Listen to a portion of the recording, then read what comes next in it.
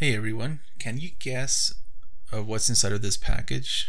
You probably already know because you clicked on the uh, thumbnail which shows what's inside.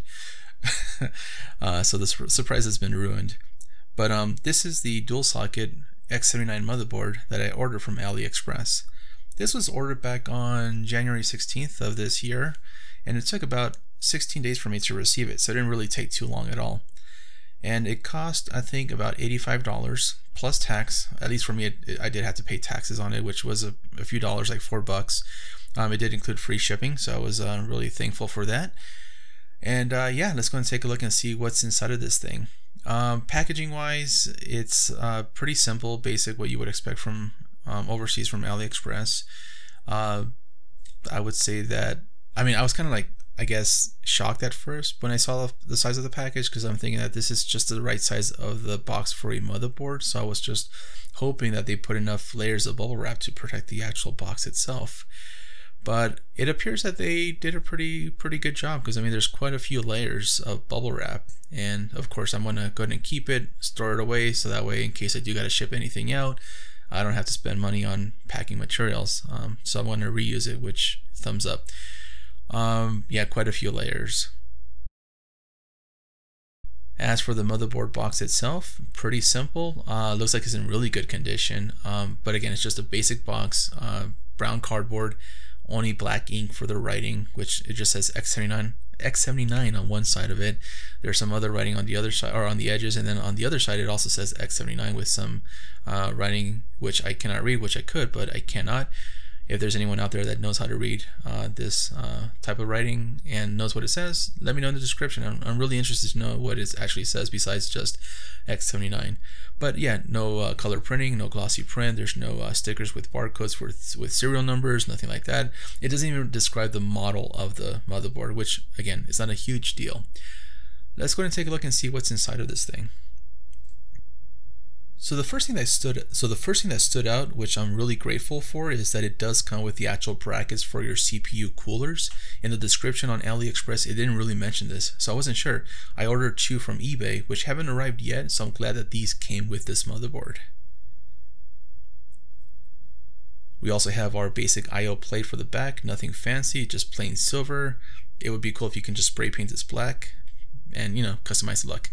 Besides that, we have a SATA cable, just one of them, not a huge deal, and also the actual screws that will allow you to mount the bracket to the motherboard.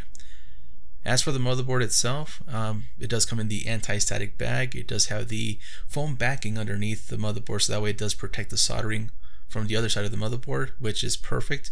Uh, this is pretty much what you would expect if you were to buy a motherboard from any name brand manufacturer out there. Um, same type of packing material, packaging, that kind of stuff. So thumbs up. As for the motherboard itself, here it is. Uh, dual socket 2011. Um, it can use Xeon processors. I did order two E5 2690s, which I will be using with this build. Um, it does have just four RAM slots, uh, dual channel, uh, supports 18 up to 1866 in terms of speed. I bought uh, 64 gigabytes of uh, DDR3 1600 megahertz uh, ECC registered memory, uh, 16 gigs per stick. So that's what I will be using for this build. Um, it does have two 16 times PCI Express slots and two 1X slots. Also one NVMe slot for your hard drive. That should be coming in pretty soon. It does have four SATA ports. Two of them are 6 gigabits per second and four are 3 gigabits per second. If you're using a mechanical hard drive, you won't really notice a difference, but if you are using an SSD, you will notice the speed difference if you're using the, uh, the 3 gigabits per second slots or the ports on this motherboard. As for power, we do have uh, the 24 pin connector from the power supply. We do have two 8 pin connectors for the CPUs. Got to make sure that your power supply can support that. For the back, we have six USB 2.0s, three, uh, two USB 2, uh, two USB 3.0s, and we have two PS2 ports, uh, gigabit Ethernet, and the standard audio uh, output or audio connectors for output input. Uh, besides that, we do have on the bottom right our uh, front panel headers. We do have the USB 3.0. We do have three USB 2.0s. We have the uh, basic um, headers for your power switch, reset, LED, activity lights, that kind of stuff. Uh, the one thing that really stood out with this motherboard was that on the pictures on the uh, AliExpress listing was that it does have the USB 3.0 uh, front header on the bottom right and it was clearly visible. There are other motherboards that look almost identical to this one sold by a lot of sellers out there that for some reason, I mean, they look almost identical, but the USB 3.0 uh, header was located on the bottom left area of the motherboard and it looked a little bit strange. Um, not used to what I'm saying, but I, I didn't really want to trust those. And this is the only one that I saw from this one seller that had this these pictures that actually clearly showed it being on the bottom right. So I went with this one. Um, besides that, what else can I say? Um, I think that's pretty much it. Uh, looks pretty good. I mean, the, the colors are awesome. It's my they're, they're my favorite colors: black, orange, grays, whites. Uh, of course, there's some of that brown PCB, but I mean, overall, it, it's beautiful. I mean, I, I, like the look of this motherboard, so I can't wait to try it out.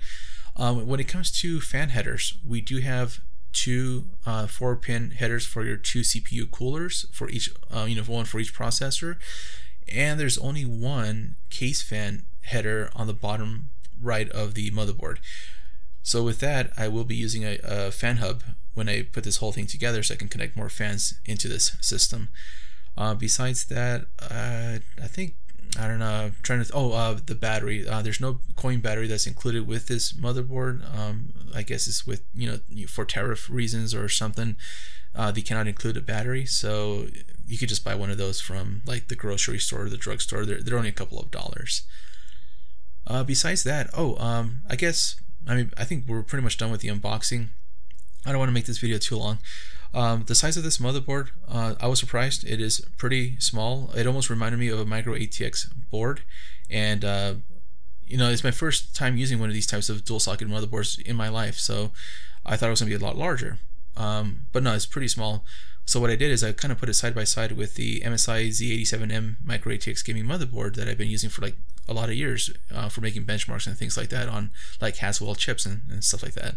I put them side by side, to see you know the size comparison between the two. This board is just slightly larger than that micro ATX board.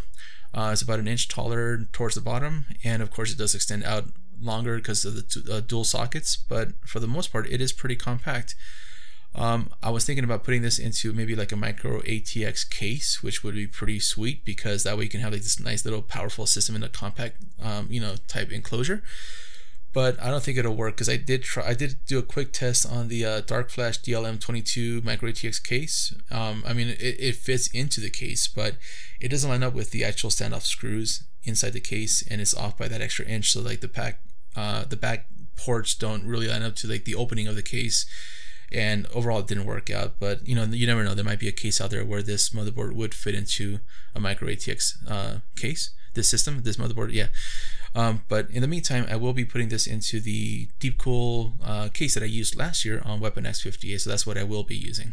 So that pretty much wraps it up. Um, I do want to thank you for watching. Um, thanks for feedback, for likes and dislikes on my videos, and if you subscribe, I really appreciate that. And stay tuned. Uh, the next one should be coming out hopefully, you know, not too far into the future. I mean, not not too long from now, but I'm I'm working on it. Anyways, thanks for watching. Take care and have a great day.